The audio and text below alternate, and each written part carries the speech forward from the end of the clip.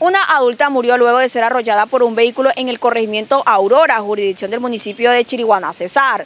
La víctima de 72 años fue identificada como Anselma Ávila Reyes. De acuerdo a la información que se ha dado a conocer por parte de los habitantes de la zona, la adulta mayor fue impactada por un vehículo cuando transitaba a pie por una calle del corregimiento Aurora, siendo trasladada a un centro asistencial en donde falleció a las pocas horas de su ingreso debido a los golpes que sufrió. El cuerpo sin vida de la mujer de 72 años fue inspeccionado por las autoridades pertinentes y llevado al Instituto de Medicina Legal y Ciencias Forenses de Aguachica para la necrosia de rigor.